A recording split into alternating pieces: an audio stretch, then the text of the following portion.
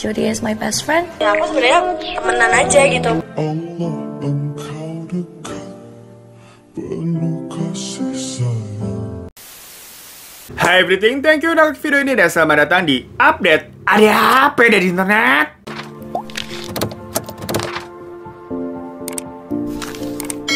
Hai semuanya, selamat datang. Aduh, weekend kayak gini nih biasanya kita tuh kalau dulu-dulu maraton ke kondangan orang lain ya, ngambilin kambing guling, es puter, zupa zup. Ya Allah, jadi kangen nih makan gratisan di kondangan. Kasihan banget nih jadinya kalau mikirinnya udah pada punya rencana nikah di tahun ini, tapi jadi berantakan perkara kan sekarang nih PSBB diperketat lagi dan otomatis kalau kita mau ngadain resepsi yang lumayan besar itu juga nggak boleh kan. Pokoknya rata-rata tuh katanya larangannya nggak boleh ngadain acara ngumpul-ngumpul lebih dari 30 orang. Ya habis gimana dong, gengs? Angka pasien COVID ini terus naik tiap harinya. Ditambah lagi, ini kelakuan orang ya Allah, ngelus dada gue.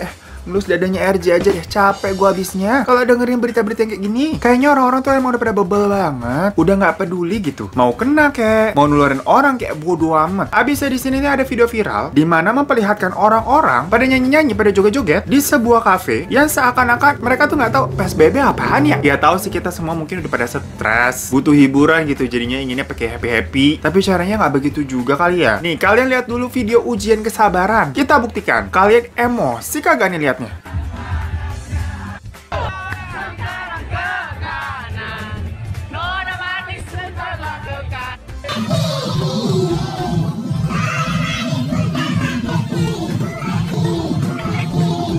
Tuh gengs, berber kayak bengong gitu gak sih liatnya? Masalahnya itu bukan cuma rame banget ya. Terus nggak ada jarak social distancingnya. Tapi semuanya juga gak pakai masker. Itu tuh kalau kita ngeliatnya Kayak ala-ala pesta rame-rame menuju aja gak sih? Bukan cari angin lagi buat happy-happy Tapi ini cari mati judulnya. Gue beneran agak bingung dan mencoba Berpikiran dari sisi mereka nih gengs. Mungkin ini ke bawah suasana Dan emang ambience-nya udah lama nih kita kagak joget-joget Buat senang-senang kayak begitu. Tapi ya apa iya nggak takut? Masalahnya soalnya Abis mereka dari situ kan pastinya mereka pulang tuh. Nah di rumah tuh kan ada misalkan orang tua, kakak, adik, tante, om apa siapa kek? Gak mikirin itu orang-orang terdekatnya bagaimana. Hanya demi kesenangan pribadinya doang. Atau sesimpel, ya udah senang-senang biar nggak stres gitu. Kalau nanti kita stres terus malah sakit kan jadinya. Ya tapi apa? Iya nggak pakai masker juga. Itu sih udah namanya bukan egois lagi ya. Tapi udah bebel aja emang. Dan yang gue herannya juga kok yang bebel itu Hampir semuanya banyak banget itu di situ. Yang mana pas ngeliat videonya juga kayak udah bodo amat tuh udah capek. Soalnya ini udah konyol mentok ya. Pertama rame-rame nggak ada jarak. Terus nggak pakai masker. Party-partian gitu. Eh di videoin dan diupload dengan bangga pula. Ya menurut Ngana, netizen ini bakal komennya, wah seru dan mengasyikkan sekali. Sepertinya party di sana atau wah keren sekali dan gaul ya kakak. Kagak bakal begitulah hari gini. Lu kalau mau berbuat konyol udah mending diem-diem aja lah. Kagak usah dipublish-publish begitu. Ya mana ya besoknya langsung digerebek itu tempat. Diamanin sama polisi karena memang melanggar peraturan PSBB. Jadi istilahnya main udah nyari penyakit.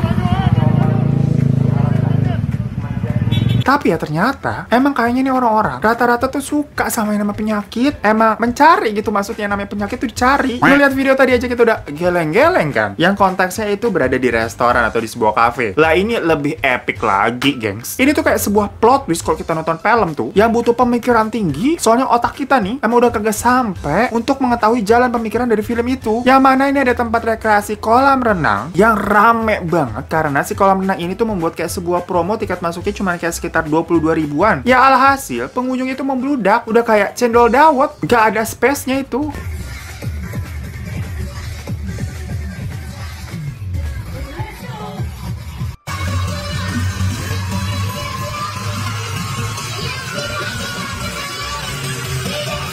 Jujur ya, pas gue nonton video tadi tuh, ekspresi gue pertama kali cuma bisa tertawa dan tersenyum 5 detik kayak saking itu epic banget sih menurut gue. Ngeliat orang tadi di cafe aja rame-rame, joget-joget pakai masker itu udah geleng-geleng ya. Lah ini ngeliat orang pada berenang, desek-desekan kayak begitu, kayak engsel gue nih buat geleng-geleng udah gak bisa, udah kaku. Jadi itu cuma bisa ketawa senyum 5 detik kayak yang mana sekarang aja nih, kolam renang umum kayak di apartemen ataupun di hotel-hotel, itu rata-rata masih ditutup, soalnya memang dianggap sangat beresiko. Kecuali airnya itu udah dikasih kandungan apa gitu gue lupa namanya tapi bukan kaporit maksudnya. Ya memang itu obatnya khusus untuk membunuh kuman di dalam air. Tapi kalau nggak salah itu harganya mahal. Jadi kalau digunakan untuk umum masih susah intinya kayak tekor lah mereka di tempatnya. Dan jika pun itu airnya emang udah dikasih si obat tadi kapasitasnya juga nggak sebanyak itu kali ya Allah. Bayangin ya di kolam renang itu kan pasti ini gue yakin sering banget sih kalian juga pernah ngalamin ada yang pipis langsung di dalam air atau sesimpel buang ludah. Dengan artian itu kan air masuk kan pasti ke dalam mulut dan kita secara refleks itu pasti mengeluarkannya lagi nggak mungkin lu telan kan? Lah semua itu apa bukan sumbernya virus berarti? Ini kok pada kayak kucing yang nyawanya sembilan pada rame-rame berenang kayak gitu. Jadi memang melihatnya wow sekali, speechless gua. Tapi ya semua ini salahnya kalau mau ditanya ya dua belah pihaknya salah. Di mana pihak tempat kayak kafe ataupun kolam renang itu sebenarnya sih nggak apa-apa juga kok untuk buka. Tapi ya harus dibatasin juga lah. Maksudnya jangan jadinya bebas banget dan nggak mementingkan kesehatan demi cuan. Serta dari pihak pengunjungnya pun itu juga harusnya pada ngerti lah. Jangan se-ignorant banget gitu jadi orang. Karena memang keadaannya sekarang nih itu lagi serba susah apa-apa. Jadi emang mau nggak mau kita lagi di fase yang lagi nggak enak emang istilahnya. Kalau semua orang yang nggak peduli dan maunya senang-senang sendiri, ya nggak bakal kelar-kelar lah. Contohnya ini juga ada misalnya bioskop kan katanya di beberapa daerah tuh udah mulai buka dan itu juga menimbulkan pro dan kontra. Ya kalau menurut gue sih dalam sisi perekonomian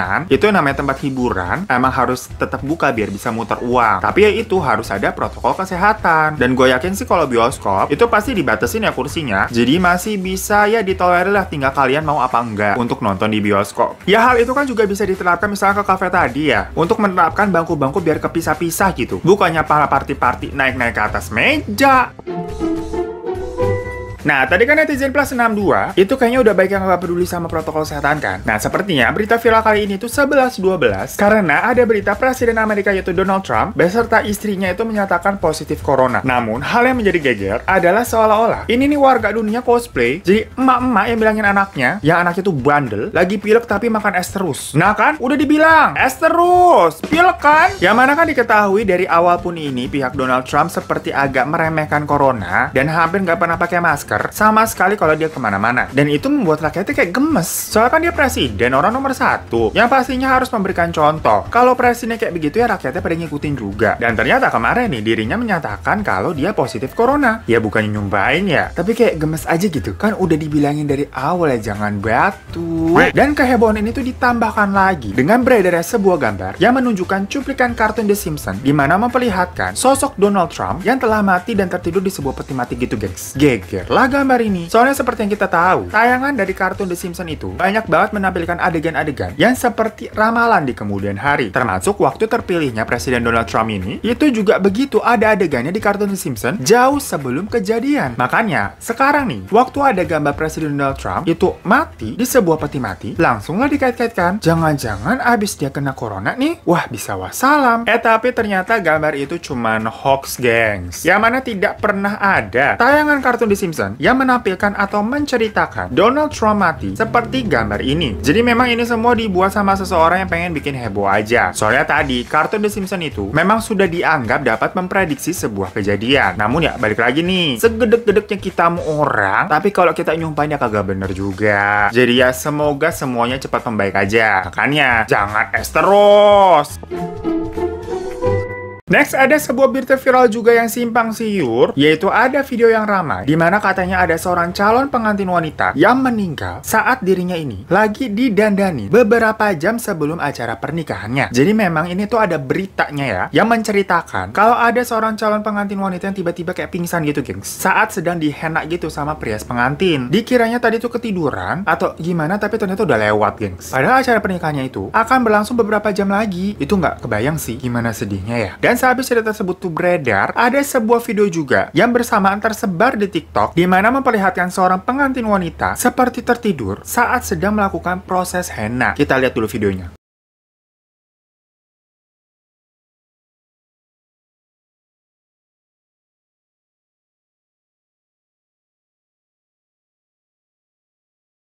Nah, video tadi tuh rame banget tersebar di berbagai portal-portal berita dengan judulnya tuh pengantin meninggal saat dirias. Dan jadinya juga video tersebut tuh banyak di-repost sama orang-orang. Namun ternyata pengantin yang ada di dalam video tersebut tadi itu bukanlah pengantin yang sama dengan cerita yang pertama tadi itu, gengs. Karena pengantin ada di video TikTok tadi tuh, itu ya beneran hanya ketiduran aja. Karena mungkin kan proses henna itu agak lama ya. Jadinya ya dia ngantuk. Dan habis itu ya dia bisa bangun. Habis itu melanjutkan proses pernikahan dan baik-baik aja sampai sekarang. Jadi intinya video yang tadi tuh itu digunakan sebagai berita atau ilustrasi dari cerita yang pertama tadi. Di mana cerita yang pertama tadi itu itu betul kejadian, tapi memang tidak divideokan. Dan almarhum atau calon pengantin yang meninggal itu sudah dikuburkan juga. Tapi ya tadi memang tidak ada dokumentasinya bagaimana prosesnya sewaktu dia dihena terus sudah nggak ada. Ya mungkin untuk menjaga privasi juga, di mana pasti keluarganya itu masih berkabung ya. Apalagi juga pasti ini calon suaminya shock banget. Yang jelas pokoknya video TikTok tadi itu intinya nggak ada kaitannya sama sekali dan disalahgunakan untuk menjual cerita biar jadinya viral. Jadi ini 11-12 atau seperti berita Donald Trump tadi yang The Simpsons, semuanya cuman buatan orang iseng aja, disambung-sambungin gitu gengs. Tuh, makanya hati-hati kalau kalian dapat informasi, jangan kalian telan bulat-bulat, keselak ntar lu.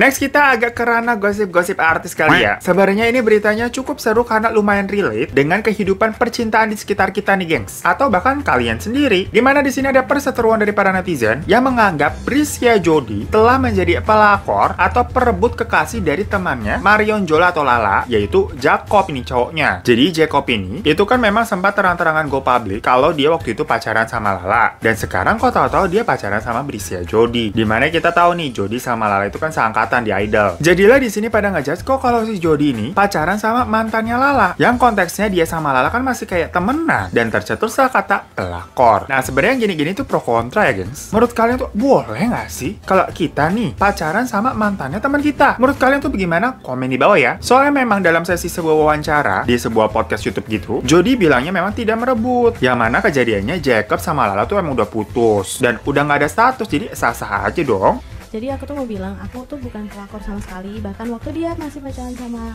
Lala. Lala, aku sama sekali nggak pernah kontakan sama Julian. Makanya balik lagi di sinilah ada pro dan kontra dari pertanyaan gue tadi tuh. Menurut kalian emang nggak boleh ya kalau kita nih pacaran sama mantan teman kita? Gue sendiri sih nggak pernah soalnya ya sampai sekarang juga jomblo. Makanya gue nanya nih ke kalian. Tapi sih di lingkungan teman-teman gue itu banyak emang kayak begitu. Nanti misalkan si A ini jadian sama si B, eh terus putus, eh si B ini jadian lagi sama temannya si A. Pokoknya masih dalam lingkup pertemanannya. Istilahnya pokoknya as long as emang udah putus, bukannya jadinya selingkuh ya, ataupun main belakang gitu, dan emang belum kawin juga, ya emang ini anggapannya sah-sah aja. Tapi di lain sisi memang gue juga pernah dengar dari beberapa orang sih katanya, hal tersebut tuh kayak tabu dan gak etis. Kalau kita nih misalkan pacaran sama mantannya teman kita. Nah, tapi sebenarnya juga sih gue nggak begitu gimana-gimana sama berita yang ini. Masalah tentang pacaran sama mantan pacar. Eh, mantan pacar, mantan temennya. Karena di satu sisi juga, ternyata Jody ini memang lagi ngeluarin lagu baru baru loh gengs yang judulnya mantan temen. Yang liriknya isinya pacaran sama mantan temennya. Maksudnya eh kok sama ceritanya? Ya daripada kita dibilang julid ya udah aja lah. Ngasih info aja gue nih. Kalau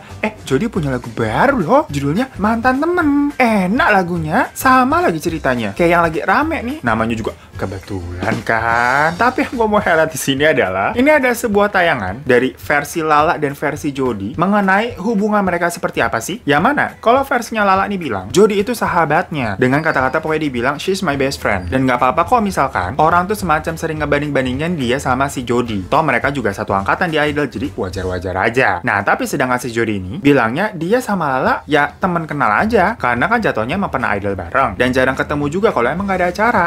Jody is my best friend. Dia pokoknya di personal life kita sahabat. Kan mereka mikirnya kayak aku tuh deket banget banget gitu, Pak. Ya aku sebenarnya temenan aja gitu, bukan yang sedekat itu. Maksudnya kayak di sini gue kayak sedih aja gitu kayak ngaca ibaratnya ini kita udah sayang terus udah ngerasa deket sama dia eh tapi cuma dianggap temen aja ya pantas jomblo mulu ya gue nasib nasib So itu tadi berita-berita update kali ini. Ya maaf-maaf banget kalau ada salah-salah kata. Dan kalian cross-check-cross lagi nih berita-beritanya kalau kalian penasaran. Pokoknya berarti sampai ketemu lagi di update selanjutnya. Dadah!